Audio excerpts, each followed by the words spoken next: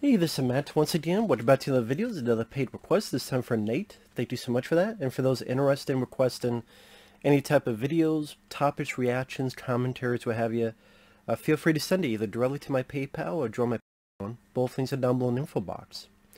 Now this is for uh, an episode of Captain N the Game Master. Now this is a show that I know it's on DVD from, I believe, Shout Factory but uh, I never picked it up for reasons I'll get into. But it's a show I remember seeing bits and pieces of from stuff my aunt would tape. She would tape like big compilation of various different shows and movies and stuff and send us VHS tapes of it way, way back in the day. But never got to see this when it came out because it was on NBC and we didn't have NBC growing up. We had ABC, CBS, another form of CBS and PBS, but never NBC or Fox or any of the other ones. So uh, this was from 1989 to 1991, and Captain N, it was kind of a character they had in, I think, Nintendo Power, but not exactly the same type of character. Pretty much Nintendo wanted their own TV show, and it was part of a, at one point a block where you had the Super Mario Brothers show, and yeah, this show. And that's actually one of the reasons why you don't have a lot of Super Mario Brothers stuff in Captain N. Like maybe one or two references, but you don't really have the characters or such in there because they have their own show. But for those who never even heard of this, the whole idea is that this guy wearing this jacket he stole from, I don't know, Archie from, or one of those uh, comics, he's playing Mike Tyson's Punch-Out on Nintendo. He's with his dog. One leads to another. He's pulled into the TV, and he's in Videoland. Now, Videoland has certain sections. You got Metroid. You have a land from Castlevania, land from Kid Icarus, land from Mega Man. You have like a palace thing in, in the middle. At first, the bad guy's Mother Brain, the bad guy from Metroid. And the voice, I recognize the voice the voice is the same person that did the voice for the big plant in Little Shop of Horrors. Levi Stubbs. Of course, he's part of a very famous band from back in the day, and then he got into voice acting. And I'm like, that yeah, that is the plant from Little Shop of Horrors. Uh, the remake from the 80s with Rick Moranis. He voices Mother Brain. Um, you also have Dr. Wily, who's the bad guy in the Mega Man games. You have Teen Hippo, who's one of the opponents from the Mike Tyson's Punch-Out game. Uh, you have Eggplant. I forgot what game he's from. And there are good guys. You got, of course, the, the lead guy, who's Kevin. You have the princess. You do have Kid Icarus, little guy, Cupid light with the arrow. You got Simon Belmont from Castlevania. You got Mega Man. I will say, watches again, I forgot how much they took liberties with those characters because uh, nothing about the guy seems like Simon Belmont. I mean, he's got a whip. He's called Simon Belmont, but the way he looks is kind of like...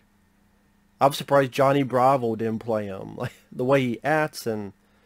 Um, well, he doesn't quite talk like Elvis, but just he he seems a bit goofier. Even the way he looks, for I understand, they made it look more like the actor than the game, which I don't understand because Nintendo is able to use these properties. Why didn't you make Simon Belmont look and act more like Simon Belmont? What, Mega Man, it was a bit weird. I think that he was the worst off because he's wearing an outfit, not the famous blue. You think Mega Man, he's wearing the blue outfit. No. And then his arm isn't, at least in this episode, it's not the rocket cannon. You know, the... He just has both hands. I'm like... And his voice, he has a deep voice like this. I'm like, that's Mega Man? Sounds like the guy from, uh, oh, what's his name? From Mrs. Doubtfire, who's uh, Robin Williams' brother, changes him, makes the, all the, the skin and stuff, the fat suit. Harvey? Kind of sounds like Harvey Fierstein. the guy who was Jeff Goldblum's friend in Independence Day and gets killed during traffic and oh brother, you know, car lands on him in his car. And then why does Mega Man sound like Harvey Fierstein? Why does he have a green suit? Yeah, if you take you kill a bad guy, you get their suit if you use the weapon, but why is Mega Man not blue? Why does he sound like that? Why is his arm not the, you know, famous cannon? I don't understand, like, the liberties they took on this. So that was a bit weird watch it. Like, they have an appearance of Donkey Kong, who I guess is in more of episodes. Here it's like a fake movie that the characters are watching. And Donkey Kong looks more like Bigfoot than Donkey Kong.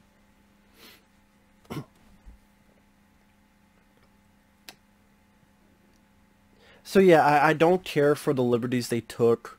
I mean, you own Nintendo. You should be able to do all this, and I think...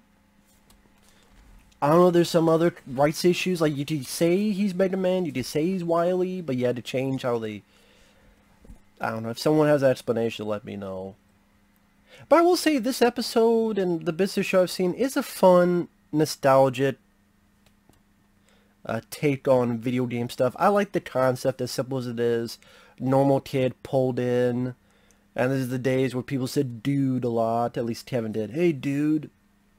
I mean, he's not a surfer type, but does pop up from time to time. Oh yeah, I didn't even mention the episode is called The Most Dangerous Game Master. And long story short, Mother Brain was the Game Master. So he gets Teen Hippo and the Eggplant dude to have put this device to look into Kevin's mind. What's his worst fear? His worst fear is his bully. So they make an android that looks like the bully, and the android says, I'm the new game master. And because the bully, the android has the bully's memories and thoughts and, and personality, he's like, we're going to make a game out of this, a challenge. You get to, we're going to go through Castlevania land, whoever gets to this place first with his Dracula, we're the real game master. And then it goes on from there. I said, I do like the concept of the whole thing, being a fan of Nintendo. It's very nostalgic. I grew up with Nintendo quite a bit. I mean, I had Atari back in the day, but Nintendo was definitely the primary one I played during that time. Super Mario Bros. 1, 2, and 3, Duck Hunt, the first Ninja Turtles game. Um, some weird ones, like one was Dino Wars, I think, with a Z. Uh, I did play the Karate Kid back in the day. I hated it back then. Still hate it now. It's very short, but pain in the ass. I forget what other game. Sally didn't have Contra growing up. Would have been nice. But it's very nostalgic. It, I like that they utilize a lot of the sound effects. Like the when someone bounces, you hear the bounce sound effect you hear in Super Mario Bros. I like that Kevin has the zapper because I remember the zapper. His belt, there's like a NES controller. So a lot of those fun little novelty, nostalgia things makes it a fun show to watch if you're from that time period if you're nostalgic for that. I it's nice to hear the, the guy, Little House of Horrors, Little Shop of Horrors, Seymour, you know, Seymour, feed me. As Mother Brain. I thought the episode took a little bit to get going. Yeah, it's a cartoon. It's That's I wish it was a bit more action-packed. And what I was going to say before, before I forget, why I never got the, the DVD of the show. Because it'd be nice to see the whole show. I think there's three seasons of it. The first season, for those who don't know, each episode had cover songs for cover versions of famous songs. So the first season there'd be like two minutes where a cover version of Shakedown by Bob Seger. Shakedown, breakdown, you're busted for Beverly Hills Cop 2. Now, of course, they could not get the rights to the actual song at the time, but they did cover versions of these famous songs. Shakedown was used like twice during season one, Danger Zone from Top Gun, that was used like twice during season one. Danger Zone. I mean, yeah, they're a cover version, but they really do help the scene be exciting and fun. And this episode is a cover of Thriller, when Kevin and the bully are shooting bad guys, and the way they disintegrate and the sound effects definitely makes you feel like part of a video game. It's interesting because it's Castlevania Land, they use a version of Thriller.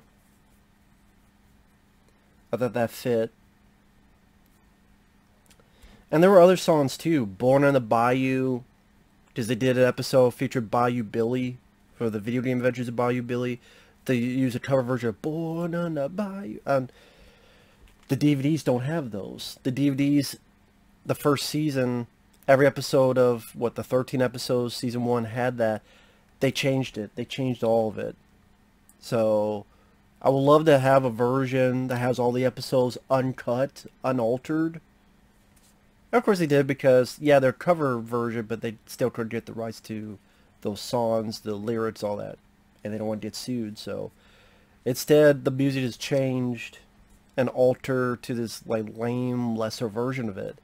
I mean, that's kind of the best parts of those episodes, is those are like the action sections.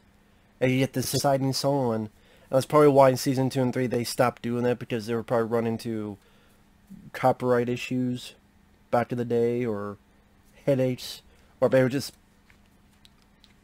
cost less money. But in that first season, that's kind of what it led up to, where you have these two-minute sections where, oh, the song's playing, you're exciting, he's blasting all these creatures, and the jumping from platform to platform like a video game. Um, that was the, the entertaining novelty of it. But no, it's not it's on the Shout Factory DVD. It's completely altered. So I'm like, well, then I don't want it. This was on YouTube. I forget the user's name. It had VHS in the title. Well, if you type in Captain Captain N the Game Master, the most dangerous Game Master, and on YouTube you change the thing to wanting videos over 20 minutes, you'll eventually find it. The user has VHS in his name.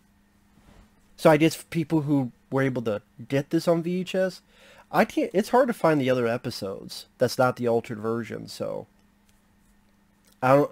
There's clips like if you type in Captain N, Shakedown Bob Seger, or Captain N, Kenny Loggins Danger Zone, you'll find those scenes and it's fun to watch. I guess if you want to, you can download the episodes and just put those scenes in if you want to put that work into it. But like I said, I, I I did watch as a copyright, but I hate when they alter shit like that because that's not how it was originally intended. And the, the original version is more fun. Might be a little detail to people, but to me, for a lot of those episodes, that was kind of the main excitement of it. Damn, calm down, chest. I mean, I know it sucks, but it's nothing yet too, you know, my lungs don't need to explode because of it. My lungs went, yeah, I know, I know. I They did change it, but what you don't do about it? Shit happens. Like I said, the episode itself, it was fun for the novelty of it.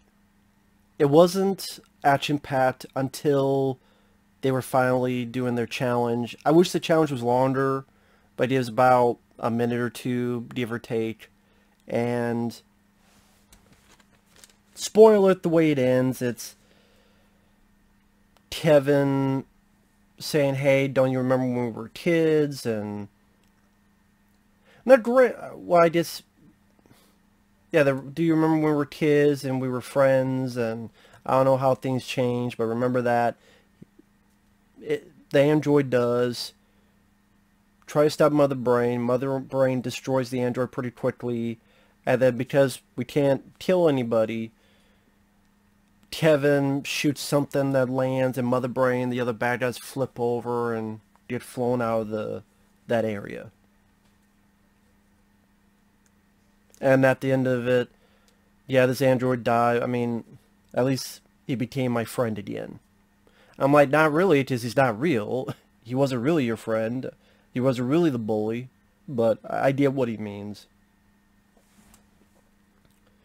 Like I said, it's worth a look if you're into Nintendo, like a lot of people were, if you enjoy the, the fun novelty factor, not just of that, but old 80s cartoons. I do think it would be a show that'd be fun to revisit and fun to watch. And just, I keep repeating the word novelty. Like I said, I don't know why they took the liberties with Simon Belmont and... Uh, well, that's... Okay, there's one other action bit I, I like. There's one little action bit that's kind of fun. Is that the bully has his own group.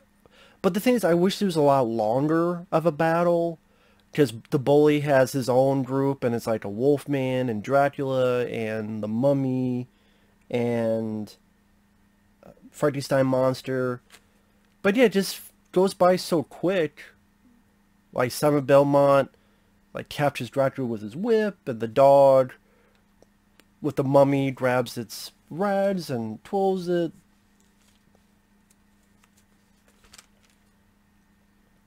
I think Captain N uses the zapper to shoot one of them. I forget which one. Does it Disney just, I wish it was more of a battle, just went by so quick. I wish it was a bit extended. So yeah, I do wish that the unaltered version of Season 1 would be released. Uh, I do wish that they had made Mega Man and Simon Belmont. Teenager seems fine from the vague memories I have of the game. But the others, again, I don't know why they changed such liberties. Donkey Kong, I mean, like I said, it's the Terrors are watching a movie, like an Indiana Jones type of movie, and Donkey Kong's the star and instead of the the idol it's a banana. But he, he kind of looks more like bigfoot. So i think he is featured in other stuff i believe. Because i believe there's a donkey kong land as well as the other lands. So i don't know if he looks better in that in those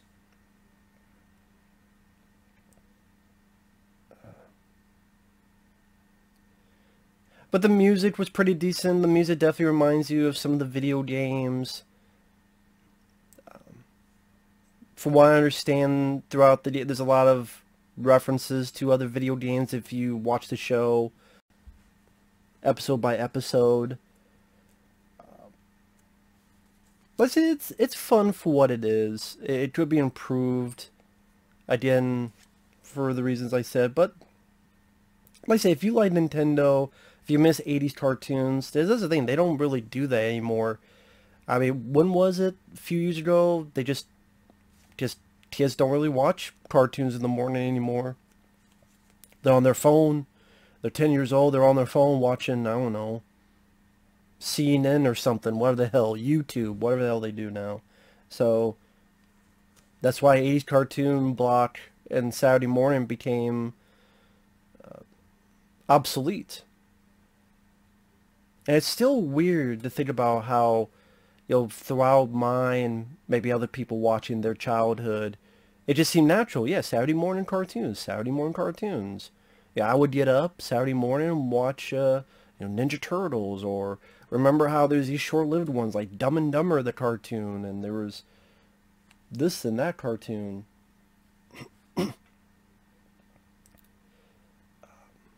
What's on like CBS, I watched Ninja Turtles and other stuff. And then I went more into ABC. What was it the Bugs Bunny and Tweety show? And then yeah, just as the years come on, it just I just did just the way times change. I just yeah, I'm just getting nostalgic about it like I say, it was fun to watch this after so, so many years. It was great to find the version with the actual unaltered music. Yeah, I don't know if you can find the other Season 1 episodes unaltered. Like, you find Season 1 episodes on YouTube, but I think most of them are the altered music versions. So, yeah. But it was fun. Like I said, I wish the, the bully... I wish he was either a knockdown drag out fight with the bully, like a one-on-one battle back and forth. But I try to be, you know, for kids. Hey, kumbaya, let's sing kumbaya. Remember try to be it sweeter. I, I, I don't know, just... Listen, I kind of wish there's more action, more of a battle, more, okay, I gotta fight this bully, because he's an android, you can destroy the android without killing anyone, so you're not screwing anything up with the rating or people being horrified. Just he, he can zap and kill bad guys, and they just disintegrate. So technically, can kill those, but hmm. I just they they wanted to go in this direction. So eh, you know, make things a little bit less fun and entertaining, but yeah, it, it is what it is.